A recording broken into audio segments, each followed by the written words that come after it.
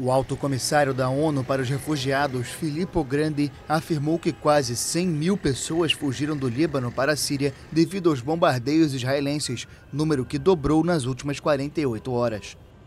Grandi destacou que funcionários da agência da ONU, autoridades locais e o Crescente Vermelho Sírio estão presentes em quatro pontos de passagem na fronteira para ajudar os deslocados. No sábado, o Alto Comissariado havia informado que mais de 50 mil pessoas atravessaram a fronteira para a Síria.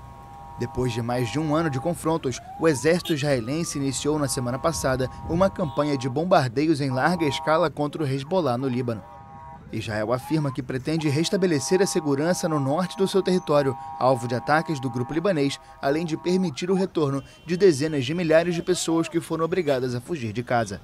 Nesta segunda, novos bombardeios foram registrados. Um edifício residencial de Beirute foi atingido no primeiro ataque contra o coração da capital libanesa desde o início da guerra na faixa de Gaza no ano passado.